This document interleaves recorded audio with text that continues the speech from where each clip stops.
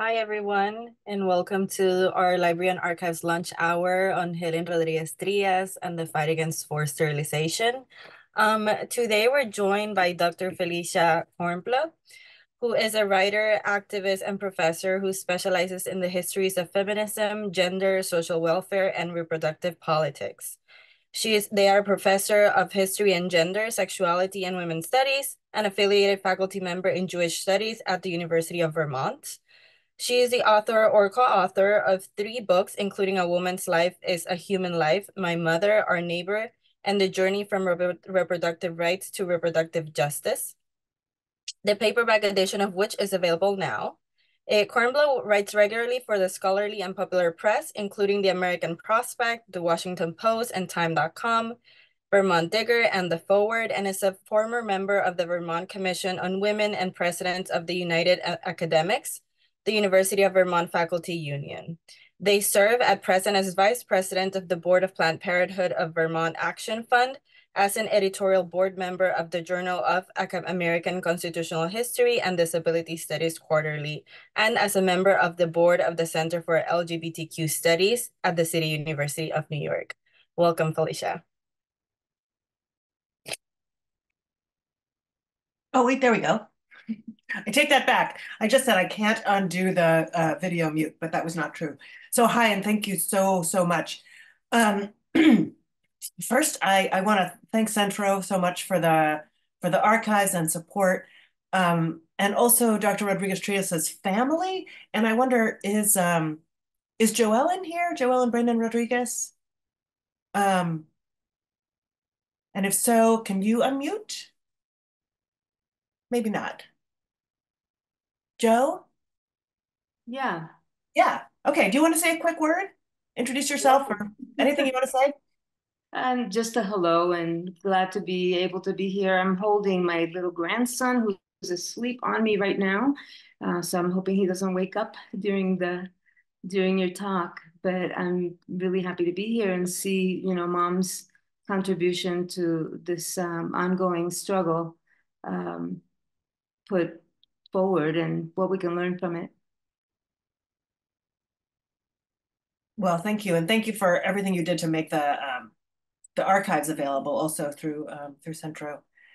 All right, I'm going to share my screen, and I will um, go as quickly as I can, um, being aware of what was said in the video about not speaking too fast, which is hard for me.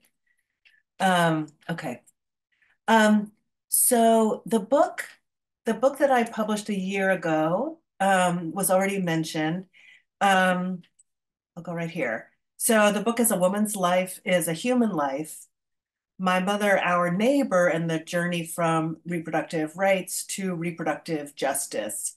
And um, I do write about my mother, my late mother, um, Beatrice Cogan Kornbluh Braun, um, who was a an activist for abortion rights, for legal abortion. Um, and our neighbor um, was Dr. Rodriguez Trias um, for about a decade. She lived across the hall from my family on uh, on West End Avenue in Manhattan. And um, so I won't say very much about this today, but I do write in the book about what we sometimes call the reproductive rights side of the of the struggle or the politics, which is mostly about contraception and abortion rights, or what we think of as the the ability that people have, um, that people should have, um, to make decisions about not to have children when that's an appropriate choice for them or that's what they want. Um, and then the other side of the coin, which is often referred to as reproductive justice today, which is um, a much bigger kind of agenda, sort of an aspirational agenda that would include everything that people would need to make decisions uh, not to have kids when that's appropriate for them, but also everything they would need to have kids to make to make a really free choice about when it's appropriate for them to have children. And what I found was that it was Dr. Rodriguez Trias and um, yeah, I'm gonna I'm gonna uh, make that a little bit bigger. And her allies, especially in these um, two organizations, I focused on CESA on the one hand, um, which was formed in the middle 1970s, and CARASA, which was formed at the end of the 1970s, which laid the groundwork for what today is called the reproductive justice movement. And they, um, I, what I, the way I put it here was that they had a broad agenda that went beyond uh, demanding contraception and abortion, um, and went to everything that people might need um, to bear children and to raise children when that's their choice. Um, and what I found was that Rodriguez Trias and her allies had this other term that they used. They, they talked about reproductive freedom, um, but that essentially they were they were getting at the same thing, and that they really laid the groundwork for what um, is today still the cutting edge in the world of reproductive um, reproductive rights, justice, and healthcare, um, politically and also academically. So, who was Rodriguez Trias? Um, uh, she was a physician. She was uh, born on the island of Puerto Rico and raised in New York City. Um, and then she went to school, to college in San Juan. But while she was there, had a political awakening as a nationalist and independentist. Um, calling for the independence of Puerto Rico from the United States.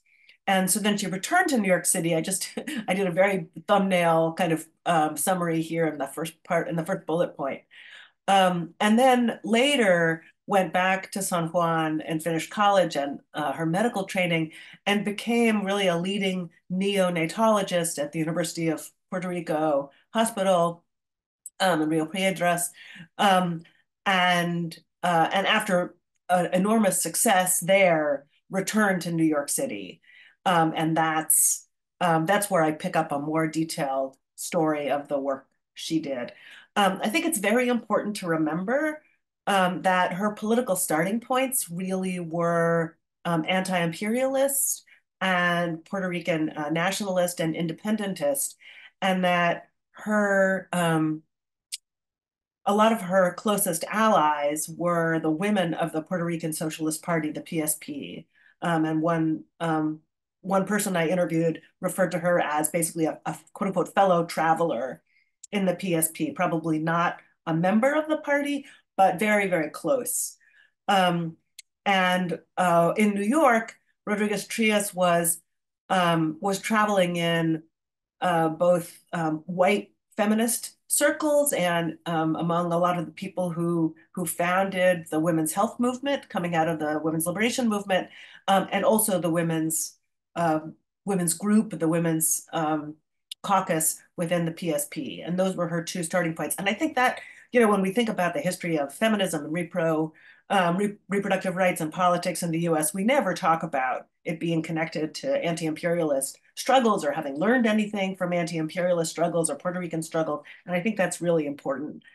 Um, so, yeah, and this is what I said at the end that there's a kind of interaction, um, at least as I see it, between the anti-imperialist politics and the reproductive rights oriented feminism that was on the US mainland and in, in cities like New York. Um, and even in the um, I think Rodriguez Trias was was kind of sympathetic to the fight to legalize abortion, which was a very big fight um, in New York and elsewhere um, in the U.S. at that time, and um, and was deeply committed to uh, Puerto Rican independence and nationalism. Um, these are images from uh, Centro's archives. Um, this is Rodriguez Trias as a doctor at Lincoln Hospital in the Bronx, and this is the the platform, uh, maybe I'll make it a little bigger. Um, eh, you may not be able to read it super well. Alicia, uh, yeah. Is it possible to hit present? Um, present. Um, um, maybe on one of the bottom corners. Bottom corners. Mm. Uh, um, let's see, I don't see it. Um, it's that that um button next to next where you were zooming in and out. Okay, got it. Icon. There. That's what you that's what you mean, right? Yes. Yeah. Thank okay. Yeah, sure. Um, so here we go. So that's a little bit bigger. So this is the th this is one of the versions of the the program of the Young Lords Party um, from when they took over a part of Lincoln Hospital. So as it happened, when Rodriguez Trias returned to the mainland, returned to New York, um, she became the head of the pediatrics department at uh, Lincoln, which was probably the most politicized hospital in New York, um, maybe in the whole country. And um, and the Young Lords had recently occupied a portion of the hospital, demanding that it be more responsive to the um, the Puerto Rican and Black community members there. So um, yeah, so they demanded uh, what they called community control of healthcare in general, and particularly of this hospital, which was um, the local neighborhood hospital in the South Bronx, you know, one of the most Puerto Rican neighborhoods in the country.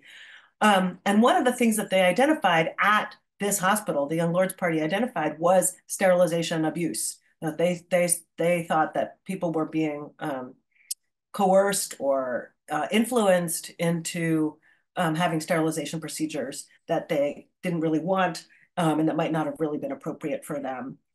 Um, so Rodriguez Trias's own political sympathies kind of leaned more to the PSP than to the Young Lords. The Young Lords were a little younger and more oriented toward um, the mainland than toward the island. Um, but certainly she was very influenced by the intense political environment at Lincoln Hospital when she showed up there. And, and she was she was brought in to be the first Puerto Rican woman department head at this hospital, in part because there had been this major uprising. Um, and uh, and the young lords had demanded that the hospital be, you know, more responsive and more culturally appropriate and um, and focus on the community needs. Um, so this is her, I believe, from the time when she was the the director of pediatrics at um, at Lincoln, um, and uh, uh, and and you can see if you can read it a little bit that the that the young lords they have you know in general they have a nationalist agenda, um, uh, but it's an agenda that ultimately also includes um, issues of uh, reproductive rights and what today we would call reproductive justice um, through the the fight against sterilization abuse. Okay, so with that background, those many different kinds of background, Rodriguez Trias and um, many of her allies in the PSP and also a group of uh, white leftist feminists, they come together in the middle of the 1970s and they create um, a brand new political organization, the first in US history, that is dedicated to fighting sterilization abuse. So that's CESA, the Committee to End Sterilization Abuse. And um, this is um, this is a photo that I got from one of Rodriguez Trias's friends and allies. Um, uh, it was a group of mostly, it was a small group, but it was mostly PSP um, members, um, women from the PSP, and um, and white leftists, women and men with left wing commitments, anti imperialist commitments, and they started to link concerns about sterilization abuse in Puerto Rico, um, which people saw as um, part of the legacy of or the fact of U.S. colonialism, um, with what they were seeing on the mainland in um, in hospitals like Lincoln Hospital and other um, of the public hospitals in New York City. And they had a series of kind of amazing successes that, um, again, are, are mostly forgotten in our histories of reproductive rights and justice.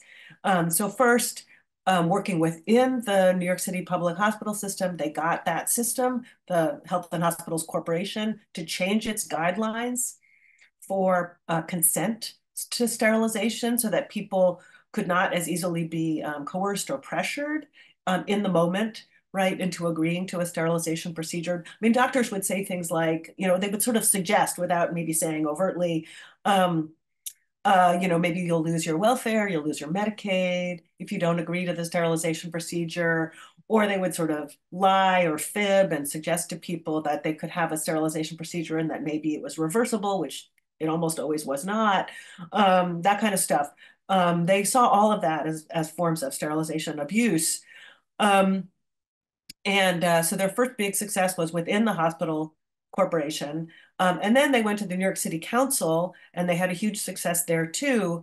um, and got the the city council to um, to agree to improved or heightened sterilization um, consent procedures for the whole city, every healthcare um, institution in the city. And really interestingly, their main opponents, the people on the other side of the debate, were the majority white feminist organizations, um, groups like the National Organization for Women and Planned Parenthood, um, which were working with this other group called the Association for Voluntary Sterilization. Um, the New York City chapter of NOW changed its position during this, the battle in the city council, and they actually supported these new sterilization guidelines. But at the national level, the National Organization for Women um, continued to be opposed. And it was a really kind of um, bitter but also forgotten debate inside the reproductive rights or uh, or mainstream feminist movement.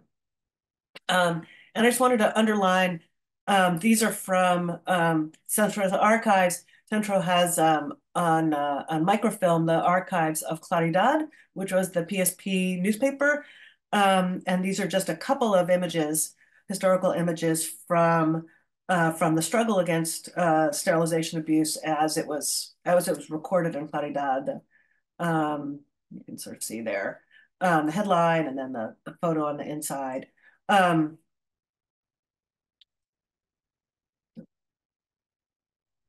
nope. Let's see. There we go. Um, oh, wait, one more. There we go. Um, in the late 1970s, um, on the kind of foundation that CESA had built, um, activists created a, a larger norm, um, a larger organization with more members called the the coalition or the committee for abortion rights and against sterilization abuse or CARASA. Um, and Rodriguez Trias was one of the founding members. Um, and so were some of the other CESA members, although the PSP itself, kind of as an institutional body, had had backed off from um, from doing this kind of political work. Um, and then there were a lot of other um, feminists, mostly white, um, socialists and radical feminists. And this was really the first time that the issue of abortion rights and the issue of sterilization abuse had been joined together.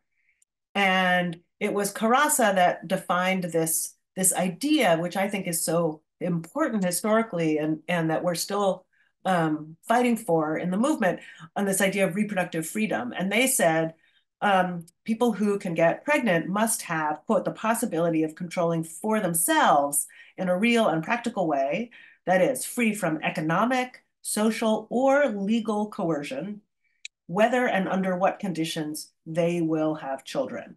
So it's very much like what people call for today when they call for a big agenda of reproductive justice, um, right? But this is going back to the late 1970s, early 80s.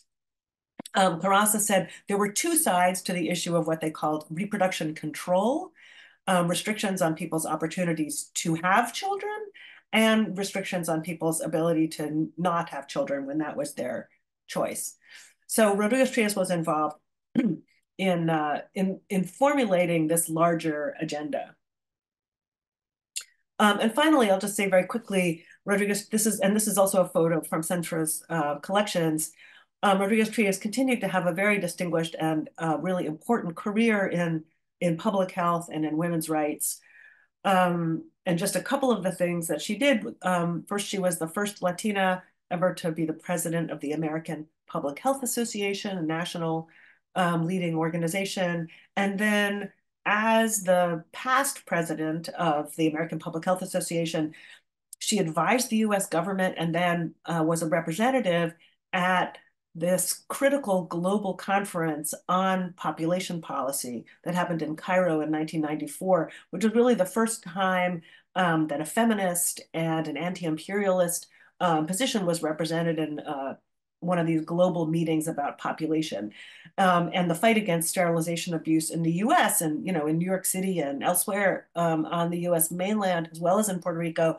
Um, that was really the foundation for what ultimately was a global fight against what was called population control, the use of sterilization um, and sterilization abuse, um, and other kind of coercive measures to lower populations, especially in countries that were low income and um, majority non-white. Um, in recognition of her work, she was awarded the Presidential Citizens Medal in 2001 by President Bill Clinton shortly before he left office. And then um, sadly, she had uh, lung cancer and died later that year. Um, and the last thing I'll say, um, and this I, am hoping maybe um, some people get um, inspired by this, is that in uh, 2019 it was announced by Mayor De Blasio um, and the former uh, First Lady of New York City, um, Chirlane McCray, that she would be honored with a statue in St. Mary's Park in the Bronx. and uh, I don't know what's happened with that initiative, and I, I'm hoping very much that the city of New York gets that back on track and that there will be a statue honoring her and her career in the city of New York. Um, and with that, we can uh, take uh, questions and comments. Thank you so much, Felicia. Um, we actually have two questions. Um, Joe is actually asking, can you comment on lessons learned from those early struggles on today's issues? Yeah. Um, well, so I, you know, the book, it's a little hard for me because the book is sort of structured around my mother's story. My mother was an abortion rights uh, activist and Rodriguez Trias' story. And um, I think uh, Rodriguez Trias kind of had the politics right. And to some degree, my mom um, had the um, um, had the politics wrong. Um, so I, I, actually think that it's um, it's just critically important that we take on the issue of reproductive freedom or what we sometimes today call reproductive justice. So fighting, you know, as much as as many resources, as much money, as many personnel as should be involved in, um, you know, the fight to um, to keep uh, abortion access available to people. I think we need just as many resources to make sure that we don't go back um, to a situation where there's mass sterilization abuse there, the way there was in the 60s and 70s. Um, and so that we can really ensure that people have that people have really meaningful options, you know, and that means, you know, national health insurance, not just um, not just abortion care, not just legal abortion, but we really, we need to make sure that people have access to all kinds of healthcare, prenatal and postnatal care. And, um, you know, and we probably need um, some kind of massive program of economic redistribution in order to make sure that people are going to have um, the resources they need to really make free choices about when they're going to have kids and whether they're going to have kids and under what circumstances, you know, making sure that they're, they're free from domestic violence, um, that was another issue that Rodriguez Trias um, addressed uh, domestic violence as a public health crisis. Um, so I think we need we need the big agenda that I think she stood for, um, and and we need it. You know, we need it today just as much as we've as we've ever needed it. Great. And speaking of, of that, can you speak a little bit more about Lincoln Hospital and what was going on at the time both of the young lords take over for those days, but also when Helen uh, was hired and everything that came, the, the political turmoil also internally that came with that. Can you speak more about that? Yeah, yeah. So, I mean, some people might know or might remember.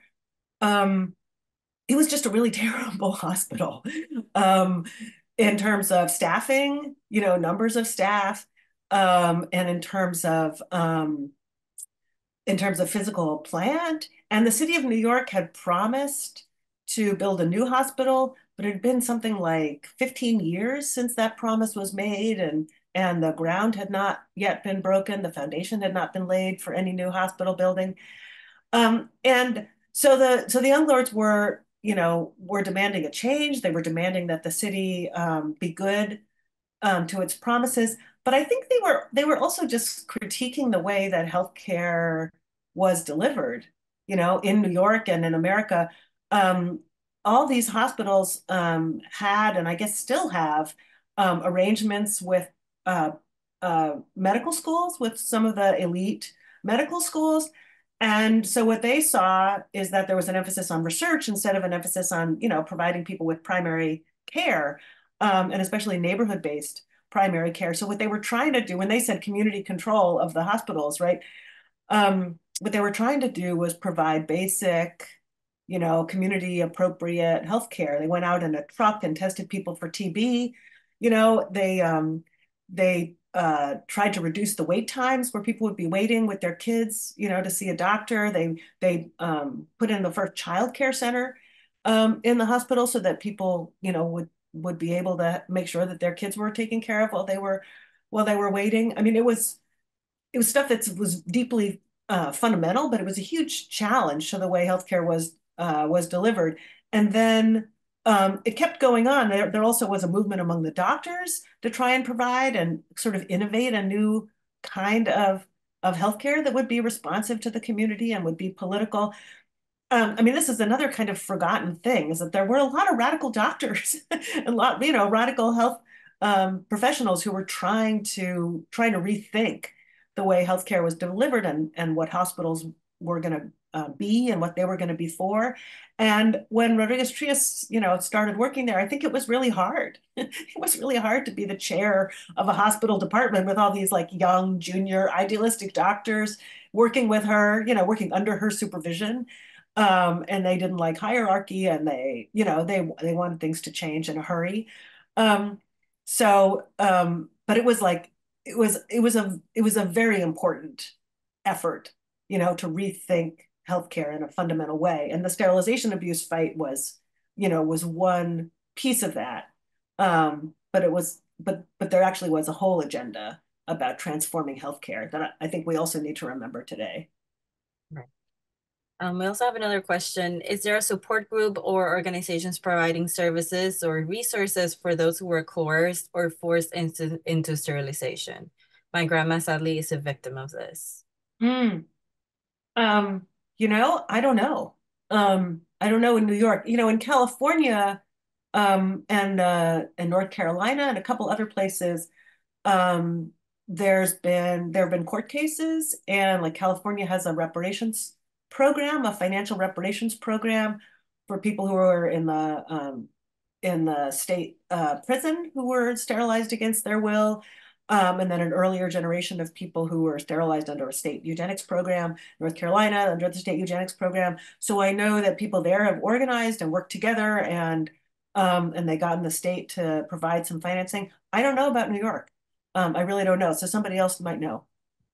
Speaking of which, can you talk about how um, people in other parts of the country, other groups of Latinos or of Black women or poor women were incentivized by CESA's successes?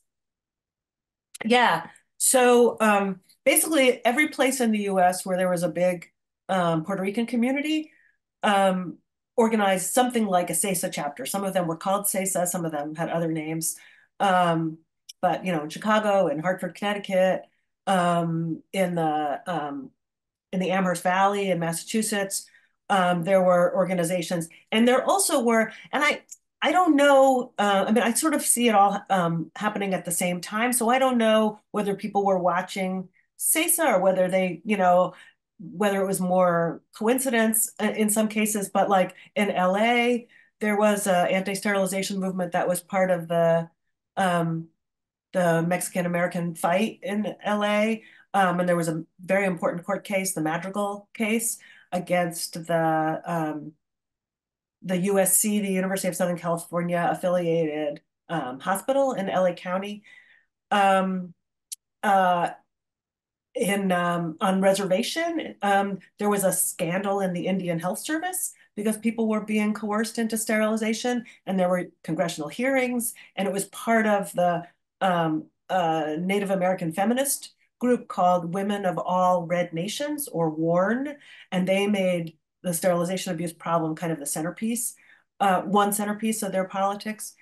Um, so it was really happening in a lot of different places, and there were there were black women, especially in the South, um, who were talking about even earlier, talking about what they called the quote unquote Mississippi appendectomy, right? Like Fannie Lou Hamer, the civil rights leader, um, uh, one of one of the stories about how she got into politics was that she went into the hospital in the I think uh, 50s um, for a benign um, cyst or something, and she came out and her doctor said, "Oh, by the way, we give you a hysterectomy." Um, mm-hmm. You know, because there was some kind of idea on the part of some medical professionals that there were that certain women should not be having kids or should not be having any more kids than they mm-hmm. already had. So it was like it was happening all over the country and everywhere that it was happening, at least as I understand it, there were by the late 70s, early 80s, there were people organizing and uh, and pushing back. Right, right.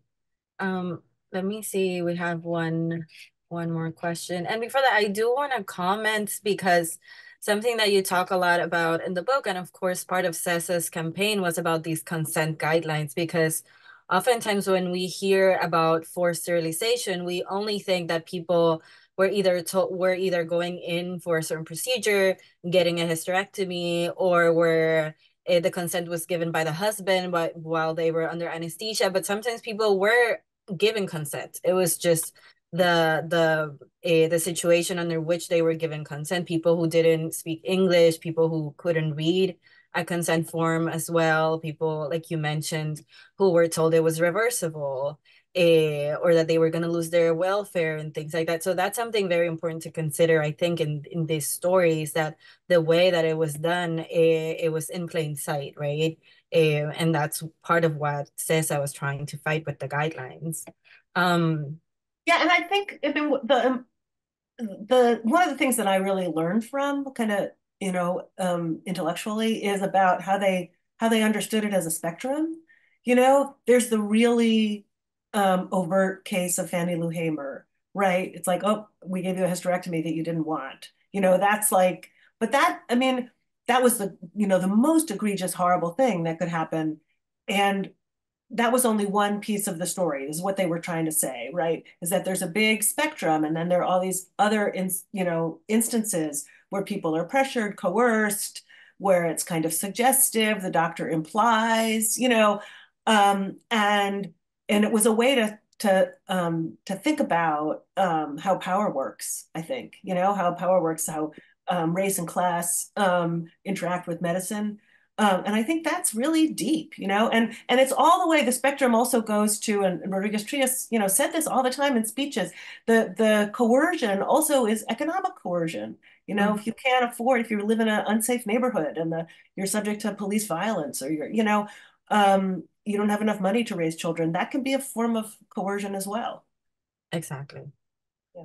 It we also have a question here back going back to Lincoln Hospital. Can you speak of the fight to fire Dr. Silva, the head of Lincoln Hospital uh, a department? He was the proponent of sterilization abuse in Puerto Rico, leading to more than 30% of women being sterilized.